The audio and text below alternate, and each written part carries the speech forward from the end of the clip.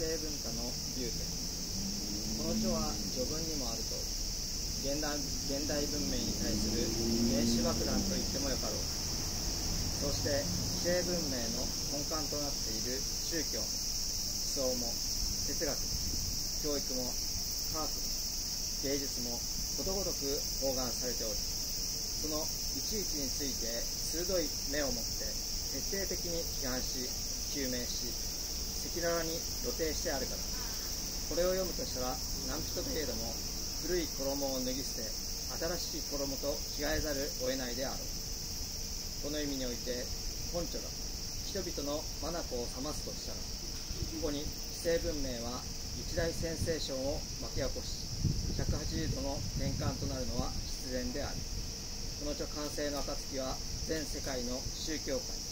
各大学の学会言論会著名人等に適当な方法をもって配布するとともに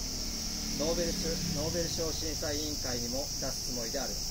た。だ吉村区は同審査委員諸氏は唯物科学の権威であるから。初めから理解することは困難であろう。この著の説くところ科学の根本をも明示してある。ことごとくが不滅の真理である以上十分検討されるとしたら理解されないはずはないと思うのである。これについて重要なことは今日前の学者の頭脳である。それは彼らは宗教と科学とを別々のものとして扱ってきたことだ。この考え方こそ大きな誤りであったのでそれを根本から解明するのがこの著の目的である。そうして地球上における死んだ万象一切は相反する二様のものから形成されている。それは陰陽明暗表裏霊体というようになっている。ところが今日前の学問は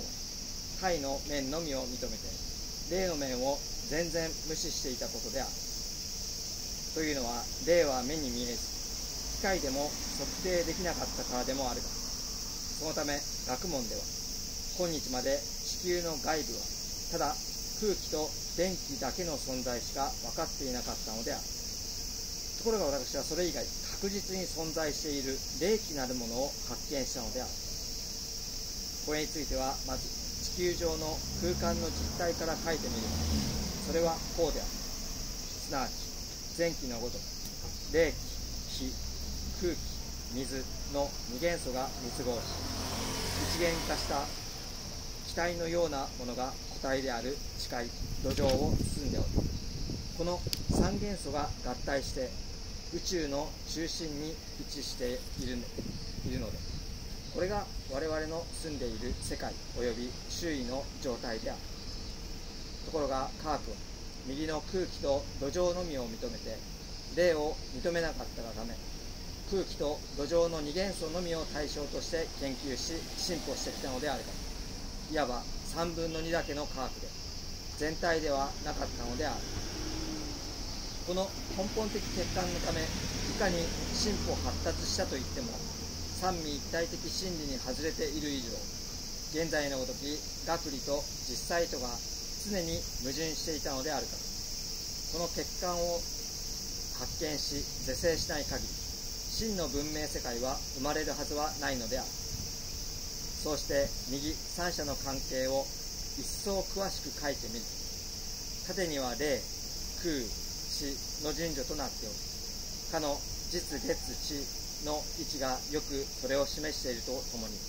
横すなわち平面的には三者密合し重なり合い距離は絶対なく混然と一丸になって中空に浮かんでいるのが地球である。もちろん三者それぞれの性能と運動状態は異なっている。すなわち火は縦に燃え水は横に流れ地は不動体となっている。これは絶対ではなく呼吸運動による動体中の不動体である。そうして縦と横は超微粒子の亜状的気流となって地球を中心として環流し運動しているのである。そうしてこの気流なるものは空のごとく無のごとくであるため現在の学問程度では到底把握できないのである。しかに意外にもこの気体そのものこそ実は一切万有の力の根源である。その本質に至っては実に有限霊妙創造に絶するものである。仏者の言う各者とこの一部を知得た人間を言ったもの。それ以上になったものが大各者である。一層徹底した大各者が献身実の境地に到達したのである。釈迦キリストはこの部類に属するのである。ただしかしこの未聖者は時期尚早のためある程度以上の力を付与されなかったことである。それがためメシア的力の不足はどうしようもなかった。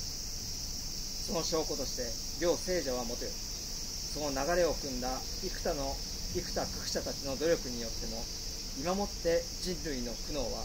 解決されないに見て明らかである。ところがいよいよ天の時来たって絶対力を与えられその行使による人類救済の大使命を帯びて出現したのが私である以上。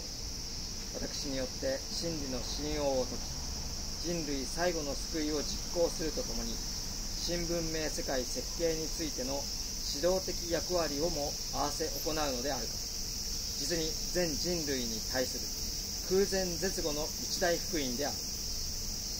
ここで話は戻るが前期のごとく物質変調の文化を献身日の眼をもって対極から検討してみると意外にもそれによって今日のごとく絢爛たる文化が発生し進歩しつつあったのである。この矛盾こそ実に神秘極まるものである。これこそ神の競輪に他ならないのである。これを一言にして言えば現在までの文明は前期のごとく快適面は成功したが霊的面は失敗したことであるでは何が故に神は最初から失敗のない完全な文明を創造されなかったかというとこの疑問こそこの著を順次精読するに従い初めて完全と理解されるのである。